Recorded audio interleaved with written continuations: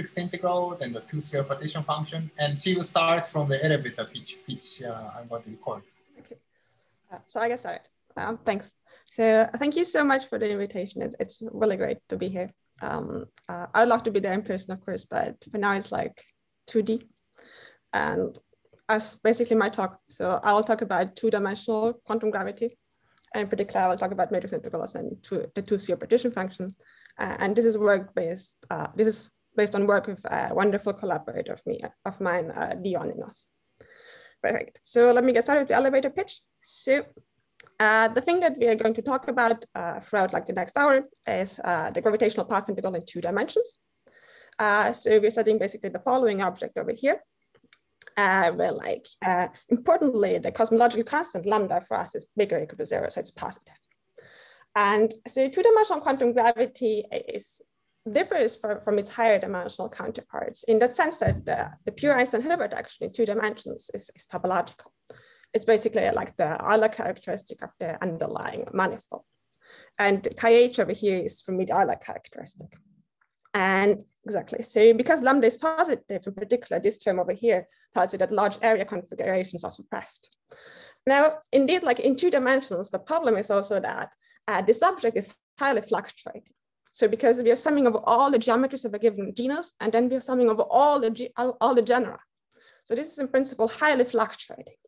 However, there's, uh, there's um, one possibility that you can do. So if you're, for example, a genus zero, so H is equal to zero if you're in a sphere, and then you additional this, additionally decide to fix the area of the underlying surface. So the area of the sphere is fixed to have area upsilon.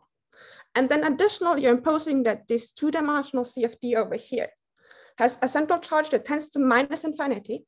We can basically tame these geometric fluctuations. So, and that this is, has been shown by Zamolodchikov almost 40 years ago, actually. And basically what this means is that a genus zero, this fixed area partition function over here, we don't only have the topology of the round two sphere anymore, but we have the geometry of the round two sphere. So we found a saddle. And, and just to remind you, like uh, the round two sphere, that's Euclidean two-dimensional de Sitter space. So now what does this also have to do with matrix? So in two dimensions, that, that's the great thing. Uh, the beautiful uh, insights like from, from many years ago, that two-dimensional quantum gravity coupled to a CFT with a central charge which is less than zero, and I will explain this in more detail later, it is conjectured to be dual to matrix integral. It is conjectured to be dual to matrix integral. It has been introduced by Kazakov and later by many other people. And this is called this multi-critical matrix integral, which I've been writing down over here. So M here is a Hermitian matrix. And this alpha 2 to alpha m is the real value couplings. And in a limit, which I will explain throughout my talk, where we take alpha to a critical value and n to infinity, while taking n to infinity, it is conjectured that the following uh, relation holds true.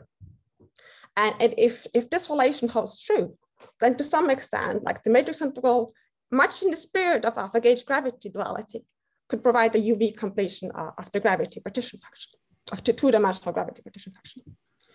And of course, and that's the reason why I'm citing Gibbons and Hawking over here, much in the spirit also of Gibbons and Hawking, who, who claimed that we can get the de Sitter entropy from a Euclidean path integral the matrix model could, the matrix integral could, could even provide us more insights into the de entropy.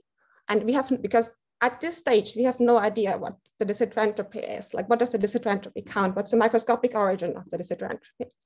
So some part of this could be basically, our goal would be that the matrix integral could provide us some insights over there. And that's what I'm going to talk about in my talk.